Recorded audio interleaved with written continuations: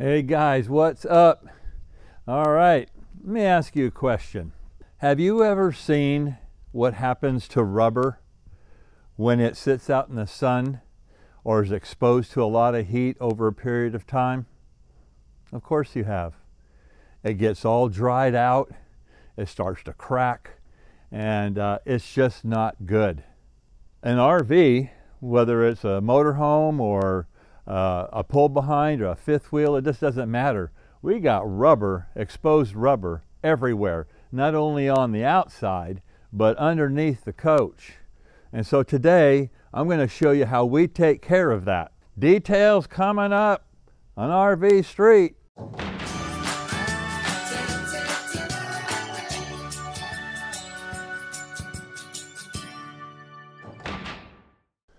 Okay, let's get right to it. Okay, so for today, the tools we're going to need is this Thetford Premium RV Slide Out Rubber Seal Conditioner. And this has a uh, UV inhibitor. I just love this stuff. You've seen me use this stuff before when I did the video when we um, cleaned and serviced our roof vents. Remember that? I mean, this stuff here, as you can see, it's a real creamy kind of a material. Can you see that? And it's a conditioner, okay? And it makes, it makes rubber nice and soft and it inhibits the damage that UV rays uh, can do to rubber. So that's the first thing we're going to need. Then we're going to need a nice clean towel. We're going to need nitrile uh, disposable gloves, and of course my trusty telescopic pole that you've seen me used in a ton of videos. I just love this thing, but you know that. An old sock, and of course whenever I do work on the, on the coach, I always wear my arm protectors. For those of you who have never seen these before, it keeps me from banging my arms and scratching them. And I got my work shirt on and so on. And lastly, my ladder. All right? So let's get to work and I'm going to show you first how to take care of the seals around the slide. And I'm going to start this demonstration on our smaller bedroom slide. So let's get started. So the first thing we're going to do is we're going to put on our disposable nitrile gloves. And if any of you are interested, you can make an appointment online for those of you who need your annual exam. We can take care of that too. As you know, we have these side ones that go up here, around the top of the topper, down the other side, and underneath here. Okay? But this is just one part. We also have this bead here that goes all the way around this part of the slide, and it goes all the way up through the top and down the other side in the bottom.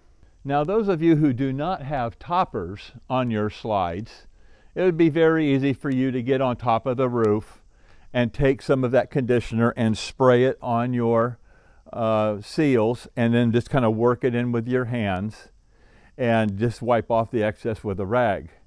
But those of you like us who have a topper, that poses another little challenge and I'm going to show you how to deal with that.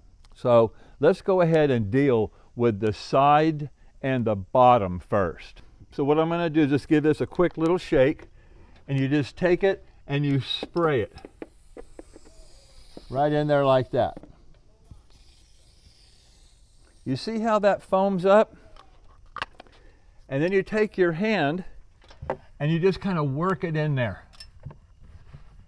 It's real slippery. It's kind of like a I don't want to say a lotion because it's not really like a lotion, but it's a foaming kind of a lotion. I don't know else how to say it, but it really kind of, it, it really makes that rubber nice and soft.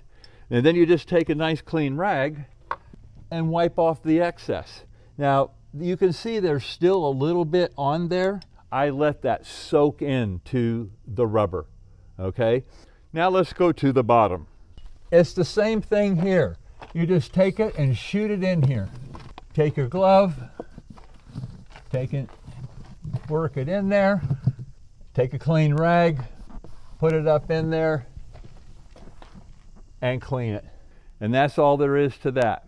You do the same thing up the other side and then I'm going to show you the top in, in a second. But while I still have the ladder right here, you can see this bead right here. Okay? Same exact thing. You come up here and just spray it, rub it, and wipe it. Now one thing I want to point out here is that these corners right here, on the front leading corner and the back corner, those are the ones that get that morning and hot afternoon sun. So what you can do here is by hand, reach in and get that first foot or so in there, right? As far as you can reach in there. Rub it with your hand, wipe it off with a clean rag. What about the uh, bead and this part back in here where you can't reach in with your hand? That's where the pole and the sock comes in. Where I'm going to show you how I do the top of the slide seals when you have a topper and you can't get your hand down in there nor have access from the roof. Make sure you stick around because we're not going to do just slide seals. I've got some other little things here about this rubber conditioner that's going to surprise you and you probably haven't heard of. So we're going to take this sock and we're going to double it up and kind of bring it around. Take a rubber band where I got a nice little ball of sock there. Now what we're going to do is I'm going to saturate this and I'm going to go into the slide seal and lubricate it with this sock. Now Joni obviously since she's filming this she's not going to be able to see me do that up there so I'm going to take the camera up there with me and set it up on top of the slide and hopefully you'll be able to get a good view of what I'm doing. So let's get going. Okay, so what I did is I reconfigured the uh, sock a little bit to where it'll get down inside that groove there. I want it to go all the way to the back as much as possible into that seal right back up in here. And I, I come in about a foot or so. And I just you see how it pushes into that seal and I just go all the way down like that. So I'm going to go ahead and saturate it again and allow that sock to kind of wedge up inside that seal. So look at that. You just kind of push the head of that pole with that saturated sock and then just keep pulling it and pushing it. I don't worry about coming, I try to get the rod to about here and then that way I'll turn the camera here. The last 18 inches or so, I'll just I'll just spray it by hand. Okay. And I'll get that back in that little ridge in there. Because it's a lot easier to do here on the ends with your hand. Then take a rag and wipe off. And then, then what I'll do is I'll go to the other side where I can get good leverage and I'll do the other end over there on that seal. And that thing gets that nice and clean and conditioned. So there we are. We've done that all the way around on the inside in here. And then we moved and we did this outside bead right here, both on the top. So the bedroom slide is done. And I'll do the same exact process with the large slide on the other side. And just look at the look at the crud that we got out of that seal. Look at that on that sock. So we not only got all that dirt and pollen and all that nonsense out of there, but we conditioned it too. Now, when we were doing the outside slide seals, remember that little bead? So when you bring your slide in, it seals around the outside of the coach, right? Well, when you bring that slide in, remember, there's another bead right here. I can feel it right here. There's a rubber seal all the way around here. Don't forget to do that part. I'm not going to demonstrate by pulling in the slide and showing you that, but the next time you arrive somewhere or you're at a place where the slides are in, get your can, put it on a rag, and go around because that that seal is all along here, all along the top, and along the back side. So before you deploy your slides while they're still in, put some of that stuff on a clean rag and put that all the way around and you'll be good to go. Okay, so the bedroom slide is done. Depending on the amount of sun and how clean you keep this, I mean, you could do this once a year. All right, two, two times a year, yeah, that could be a little overkill. But, you know, I'm always out here piddling around and I'll get up there twice a year and I'll clean the top of my slides with the mop that I showed you in that other video. And while I'm up there, I go ahead and do the seals too. So now let's take it to the next level of other rubber parts that I take care of. Okay, so the next thing that we're gonna do is all the rubber seals in our bay doors, okay? We happen to be right here uh, at our generator door. It's exactly the same process, okay? So you just come up here and you spray all the way around it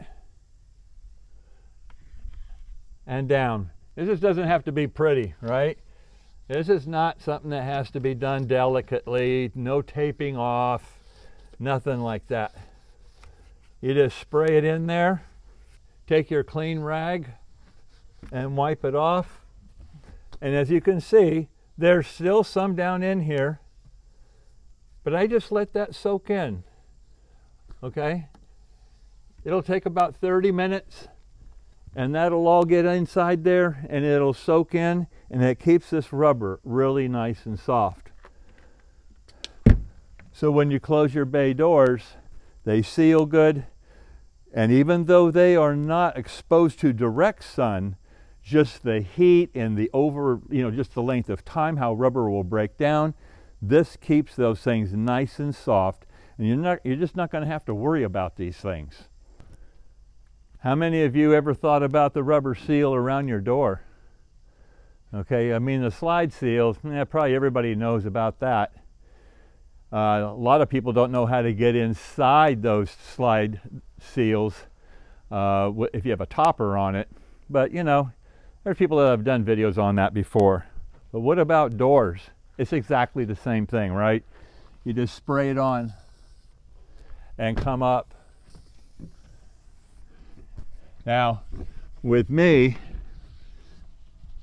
I'm pretty tall. And I can get that without a ladder. For you short people, you're going to need a ladder. this whole entire job, doing the slides, the bay doors, and this door, is probably maybe 15 minutes, okay? But now I'm going to show you something that I'll bet you most of you haven't seen. So let's go up underneath the coach and I'll show you there. Okay, so here we are underneath the coach and we're underneath the engine bay, okay?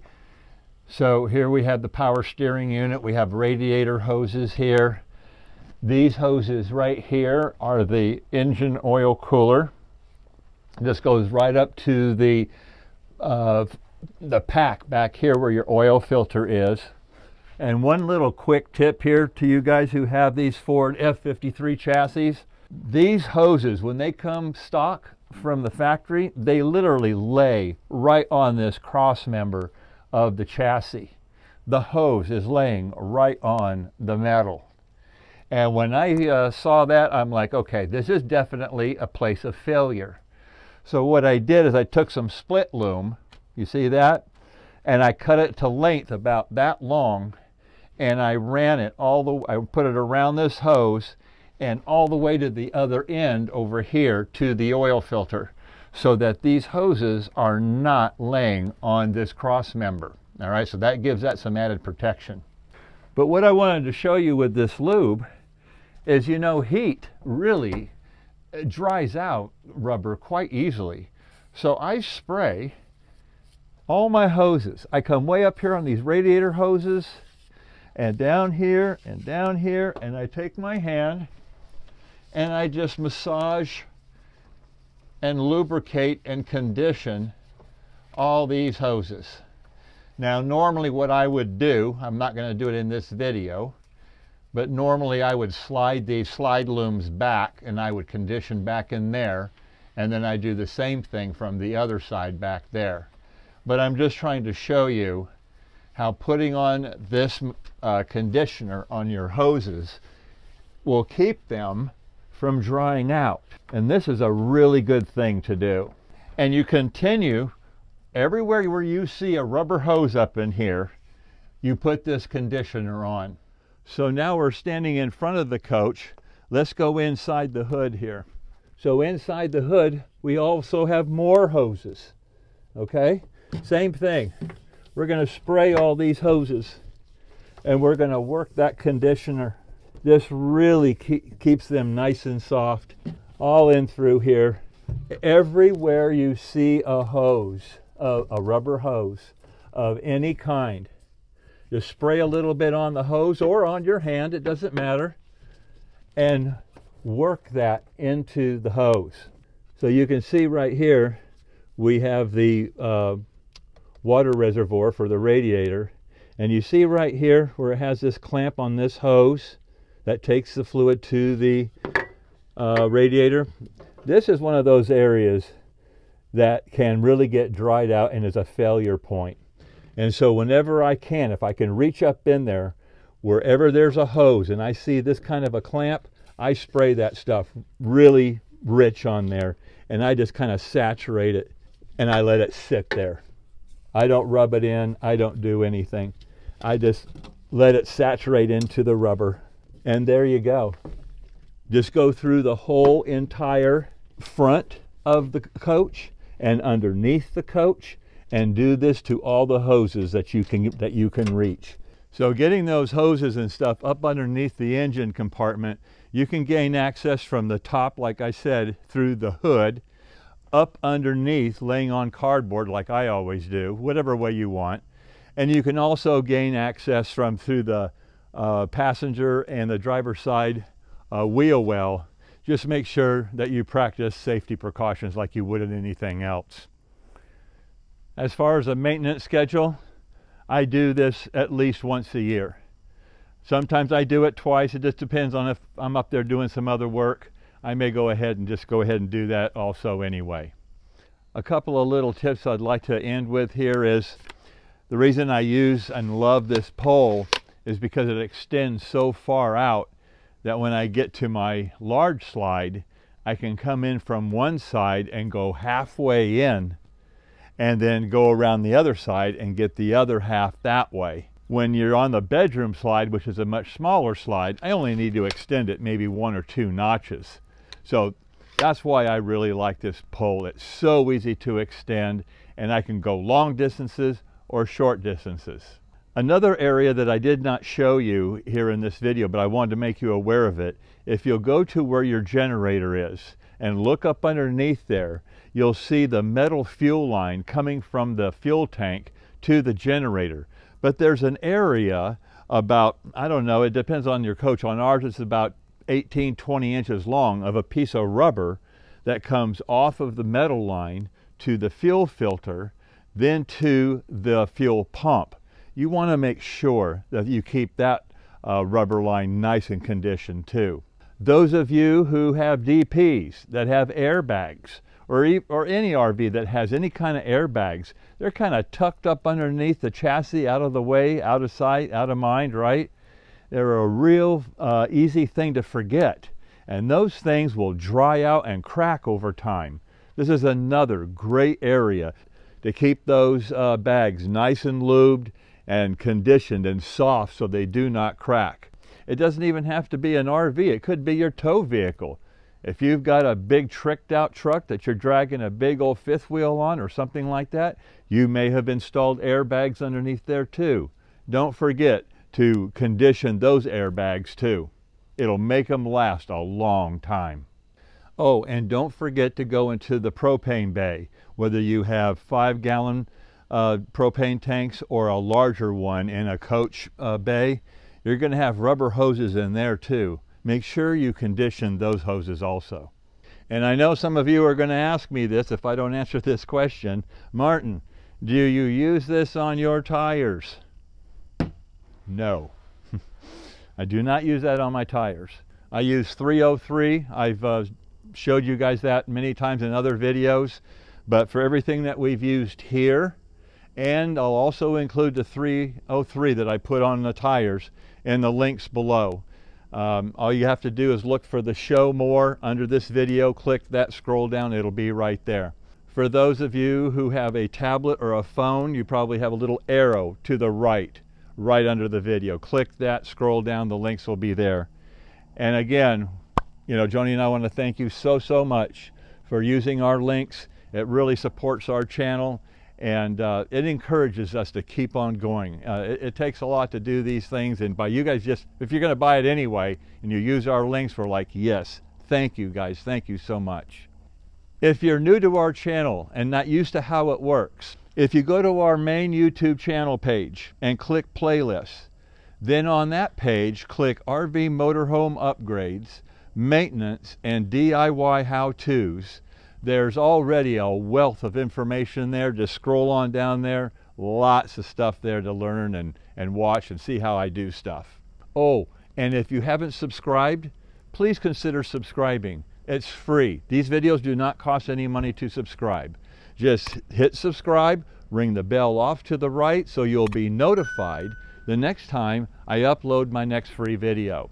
So if you like this, guys, give me a like button. Come on and give me some comments. I would love to hear that because that's pretty much it for now on how I take care of rubber on our motorhome and underneath the engine bay. So until next time, this is RV Street. Stick around.